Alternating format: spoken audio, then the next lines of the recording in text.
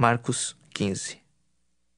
Logo pela manhã, entraram em conselho os principais sacerdotes com os anciãos, os escribas e todo o sinédrio, e amarrando a Jesus, levaram-no e o entregaram a Pilatos.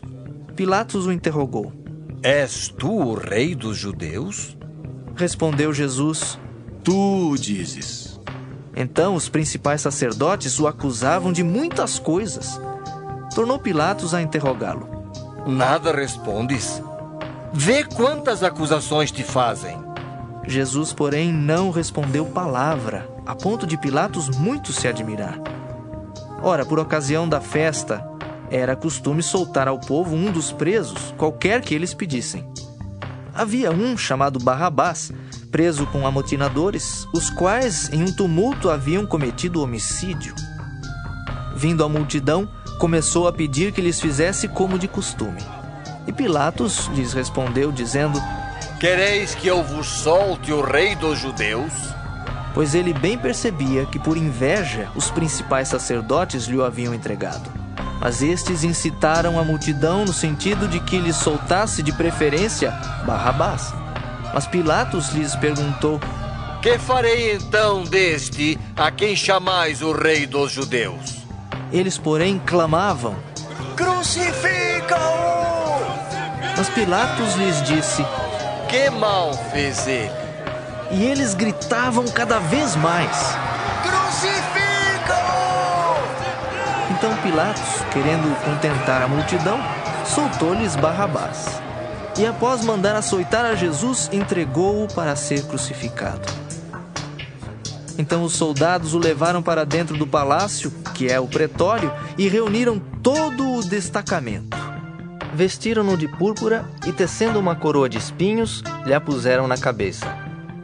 E o saudavam, dizendo: Salve, rei dos judeus! Davam-lhe na cabeça com um caniço, cuspiam nele e, pondo-se de joelhos, o adoravam. Depois de o terem escarnecido, despiram-lhe a púrpura e o vestiram com as suas próprias vestes. Então conduziram Jesus para fora com o fim de o crucificarem.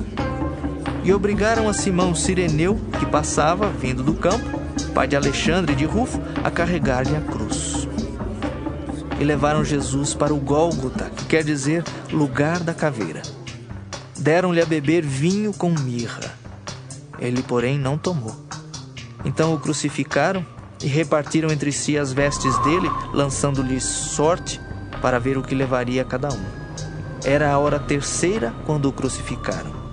E por cima estava em epígrafe a sua acusação: O Rei dos Judeus. Com ele crucificaram dois ladrões, um à sua direita e outro à sua esquerda. E cumpriu-se a escritura que diz: Com malfeitores foi contado. Os que iam passando blasfemavam dele, meneando a cabeça e dizendo: Ah, tu que destróis o santuário e em três dias o reedificas, salva-te a ti mesmo, descendo da cruz.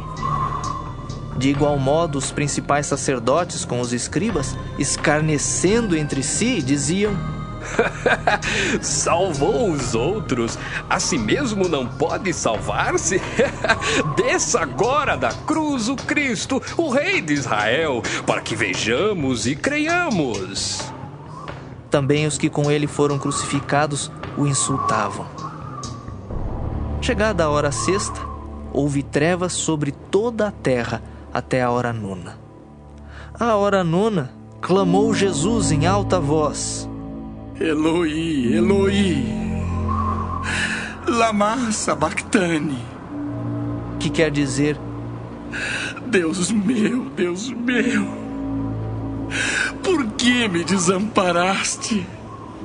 Alguns dos que ali estavam, ouvindo isto, diziam: Vede, chama por Elias. E um deles correu a embeber uma esponja em vinagre e, pondo-a na ponta de um caniço, deu-lhe de beber, dizendo: Deixai, vejamos se Elias vem tirá-lo.